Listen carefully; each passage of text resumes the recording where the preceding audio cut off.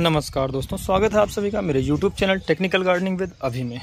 दोस्तों आज की इस वीडियो में हम बात करेंगे कड़ी पत्ता की केयर की पॉट साइज़ की प्लांटिंग की रिपोर्टिंग की कैसे हमें उसे प्लांट करना चाहिए कैसे रिपोर्ट कर, रिपोर्ट करना चाहिए और कैसे उसकी केयर करनी चाहिए कि इस प्रकार हमारा कड़ी का पत्ता पौधा घना हो बूसी हो तो वीडियो में लास्ट तक बने रहेगा और वीडियो के आखिरी में मैं आपको एक ट्रिक बताऊँगा ऐसी चीज़ जादुई खाद इसके लिए, जो कि आपके पौधे को सिर्फ़ 20 से 25 दिन में काफ़ी घना बना के देगा।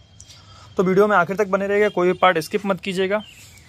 और अगर चैनल पर नए हैं, अभी तक चैनल को सब्सक्राइब नहीं किया है तो प्लीज़ इसे सब्सक्राइब ज़रूर कर लें और बेल आइकन प्रेस कर दें, ताकि आगे आने वाली वीडियो की नोटिफिकेशन आपको आसानी से मिलती रहे। तो आइए दोस्तों, शुरू करते हैं आज की वीडियो सबसे पहले हम बात कर लेते हैं कड़ी पत्ते की नेचर के बारे में। तो दोस्तों, कड़ी पत्ता जो है ये समर सीज़न में ज़्यादा अच्छा ग्रोथ करता है अपेक्षाकृत विंटर में। जब टेम्परेचर आपका 10 डिग्री या 15 डिग्री से नीचे चला जाता है तो इसकी ग्रोथ रुक सी जाती है और ऊपर 40 डिग्री से ऊपर जाता है, तब भी इसकी ग्रोथ रुकने लग जाती है। तो एक तरह से आप कह लीजिए कि कड़ी पत्ता 15 डिग्री से 40 डिग्री के बीच का प्लांट है। इतना टेम्परेचर इसके लिए सूटेबल है और उसमें अच्छी ग्रोथ इस पौधे को मिलती है। आप देखते हैं कि नवंबर, दिसंबर, जनवरी और फरवरी, अगर सर्दियाँ जल्दी स्टार्ट हो जाती हैं तो नवंबर से ही अन्यथा दिसंबर के बाद से इसकी ग्रोथ डॉर्मेंसी पीरियड में चला जाता है। बिल्कुल रुक सी जाती है ग्रोथ थम जाती है। तो उसमें आप लोगों को परेशान होने की कोई ज़रूरत नहीं है। और जैसे ही फरवरी बीतती है, पौधे में नई ग्रोथ आपको देखने को मिल जाती है। तो उस समय थोड़ी सी आपको केयर करनी है, इसमें कंपोस्टिंग करनी है, पौधे की देखभाल करनी है।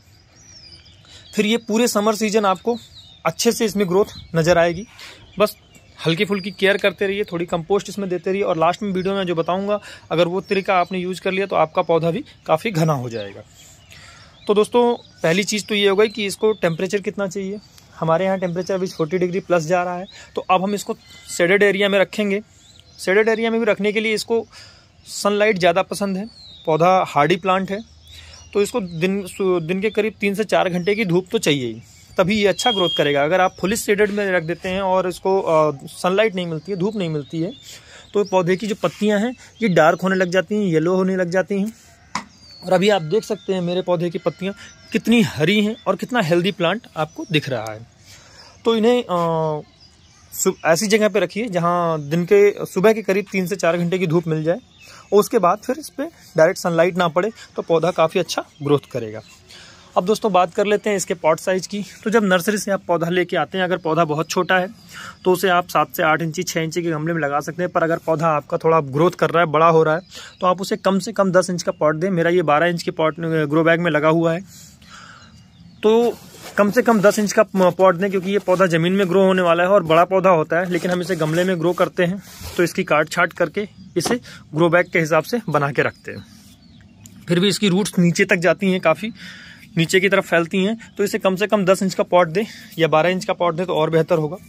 और इसकी प्रूनिंग टाइम टू टाइम करते रहें। तो ये हो गई दूसरी चीज़ दोस्तों। अब इस पर आ जाते हैं सॉयल मिक्सचर कैसा इसका बनाए तो सॉयल मिक्सचर के लिए आपको वाटर होल्ड नहीं होना चाहिए, वरना रूट में प्रॉब्लम होने लग जाती है। तो कल आज रात हमारे यहाँ बारिश हुई थी, देखिए थोड़ी पानी काफ़ी अच्छे से बारिश हुई है, और मिट्टी आपको गीली नज़र आ रही होगी। मैं आपको दिखा दूँ। और इतनी बारिश के बाद भी इसमें आपको देखिए ये मिट्टी पूरी सा, वो है ड्राई वो है भुरभुरी है। मिट्टी में पानी जमा नहीं है कहीं और जो क्ले टाइप की मिट्टी हो जाती है बिल्कुल गीली कीचड़ सी हो जाती है, वैसी मिट्टी नहीं होनी चाहिए। कितना भी पानी आए, वो ड्रेन आउट होकर निकल जाना चाहिए। तो पूरी बारिश के बाद भी इसकी मिट्टी आप देख सकते हैं, इस प्रकार से है। तो ऐसी ही मिट्टी से चाहिए, इसे आप सैंड मिला के या फिर राइस हस्क मिला के जो भी आपको अवेलेबल हो, उससे आप इसको भुरभुरा कर लीजिए। मिट्टी को फिर इसमें आप लगाइए कढ़ी पत्ता। और फंगस से बचाना ज़रूरी होता है तो फंगस से बचाने के लिए आप नीम खली हल्दी पाउडर या कोई फंगिसाइड पाउडर का यूज़ करते रहें नियमित अंतराल पे। और कढ़ी पत्ते को हरा भरा कैसे रखना है? इसकी ग्रोथ अगर रुक गई है, बिल्कुल ग्रोथ नहीं हो रही है तो ग्रोथ को बूस्ट कैसे करना है? इसके लिए मेरी अभी कल की ही एक वीडियो है एप्सम सॉल्ट का यूज़ कढ़ी पत्ते पे। तो उसे आप जाके देख सकते हैं। आपका भी कड़ी पत्ता अगर इस प्रकार से एप्सम सॉल्ट आप यूज़ करते हैं तो कड़ी पत्ता बिल्कुल हरा भरा रहेगा। इसकी पत्तियाँ देखें कितनी ग्रीनरी हैं। तो आप उस वीडियो को भी जाके देख सकते हैं। लिंक डिस्क्रिप्शन बॉक्स में मिल जाएगा आपको। तो फिर दोस्तों अब हम आपको एक चीज़ दिखाते हैं कि इसकी प्रूनिंग जैसे ये देखिए, ये फल बन रहा है इसमें तो हमें फल की आवश्यकता नहीं है। तो हमने इसे कट कर देना है, बिल्कुल नीचे से। इस प्रकार से देखिए, इसे हमने कट कर दिया। जो एनर्जी पौधा अपनी इस फ्रूट पे वेस्ट कर रहा था, अब इसकी ब्रांचेस पे, इसकी पत्तियों पे जाएगी। और ये यहाँ से नई लीव्स नई सूट प्रोड्यूस करेगा और पौधा और भी ज़्यादा बुसी बनेगा। तो इस प्रकार से जो अनवांटेड चीज़ें होती हैं पौधे में कोई लीफ बहुत तेज़ भाग रही है कोई ब्रांच तो उसको प्रून कर दीजिए। मतलब सेप में ले आने के लिए आपको ब्रांचेज की प्रूनिंग जो सीड्स निकल रही हैं इसमें उनकी प्रूनिंग करते रहना है तभी आपका पौधा बुसी और घना होगा। अब दोस्तों आखिर में आ जाते हैं हम कि इसको आ, इसकी अच्छी ग्रोथ के लिए इसको क्या हमें देना है। तो मैं आपको दिखाऊँ ये देखिए ये मैंने एक बोतल में जो छाछ होती है हमारे यहाँ जो दूध को, दूध की मलाई निकाल के उससे घी बनाते हैं तो उससे जो बची हुई छा, वो दही होती है, खट्टी होती है काफ़ी, और वो समझ लीजिए काफ़ी सड़ी हुई है तो मैंने उसे बोतल में भर के रख लिया है, और ये काफ़ी दिन से करीब एक डेढ़ महीने से रखी हुई थी, और अच्छे से सड़ गई है। तो इसका हम यूज़ करेंगे, आप किसी भी दही का यूज़ कर सकते हैं, इसमें देखिए बंद, बोतल में काफ़ी टाइट हो गई है बोतल, और गैस काफ़ी बन गया है। तो आप किसी भी दही छाछ, मट्ठे का यूज़ कर सकते हैं, पर वो जितना ज़्यादा सड़ा हो, उतनी ज़्यादा बेस्ट होता है, क्योंकि इसमें क्या होता है दोस्तों, मित्र जीवाणु जो होते हैं, बैक्टीरिया, गुड बैक्टीरिया जो होते हैं, वो काफ़ी ज़्यादा मात्रा में होते हैं। तो वो जब हमारे सॉयल में जाते हैं और इसमें जितनी भी बैक्टीरिया, मित्र जीवाणु होते हैं, उनको एक्टिवेट कर देते हैं तो उनका जो प्रोसेस होता है वर्क प्रोसेस पौधों के लिए बहुत ही शानदार होता है। तो इसे हम यूज़ करेंगे। यूज़ कैसे करना है, मैं आगे आपको वीडियो में दिखाता हूँ।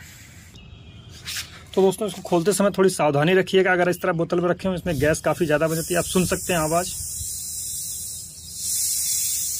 और जब इसको हम खोलेंगे तो काफ़ी खट्टी सी स्मेल आ रही है। देखिए देखिए देखिए, ये देखिए, इसमें काफ़ी ज़्यादा गैस बनी हुई है। तो इसको थोड़ा आराम आराम से खोलना है हमें।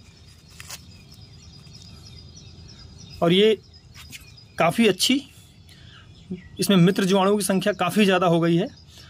तो इसको यूज़ करना बहुत ही लाभदायक होगा हमारे पौधों के लिए। तो आप भी रख सकते हैं। मैंने थोड़ी सी गलती की है कि इसे बीच बीच में हमें सील ढक्कन खोल के इसकी गैस निकालते रहना चाहिए था, पर मैंने नहीं निकाला है। थोड़े बिज़ी होने की वजह से। ये देखिए दोस्तों, बोतल में जो गैस बनी हुई है, ये निकल के बाहर आ रही है। आप सभी देख सकते हैं। तो इस प्रकार हमें इसको यूज़ करना है। अब हमें करना क्या है, इसकी एक गिलास हम इसका, इस छाछ का, मट्ठे का, बिल्कुल देखिए इसका कलर भी देखिए। तो एक गिलास हम इसका ले लेंगे। ये हमारा जो मग है, इसमें एक गिलास हमने इसे ले लिया है। और हम दो गिलास इसमें नॉर्मल वाटर ऐड करेंगे।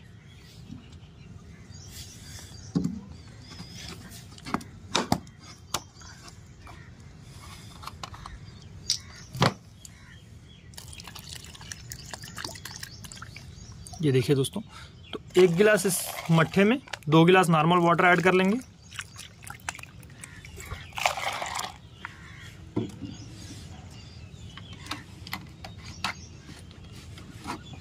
और इसे काफ़ी अच्छे से हम देखिए, किसी टूल्स की मदद से मिला लेंगे सब अच्छे से। और फिर हमें क्या करना है अब दोस्तों, कि जो हमारा ग्रो बैग है, कढ़ी पत्ते का, इसकी हमें कर लेनी है हल्की गुड़ाई।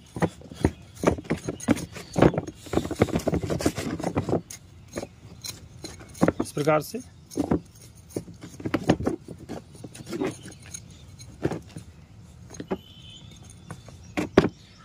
और अब हमें इसमें जो हमने ये तैयार किया हुआ है इसको इस ग्रो बैग में अच्छे से चारों तरफ़ से दे देना है। आप दोस्तों एक बार ज़रूर ट्राई करें इसको और ट्राई करने के बाद करीब 15 से 20 दिन बाद आप रिज़ल्ट देखें और फिर उसको इस वीडियो के माध्यम से कमेंट में ज़रूर साझा करें कि कैसा एक्सपीरियंस आपका इसके साथ रहा है। दोस्तों, अगर जानकारी पसंद आई हो, वीडियो अच्छी लगी हो तो चैनल को सब्सक्राइब करें, वीडियो को लाइक करें। कोई सुझाव हो, कोई सवाल हो तो कमेंट बॉक्स में लिखना ना भूलें। बहुत बहुत धन्यवाद।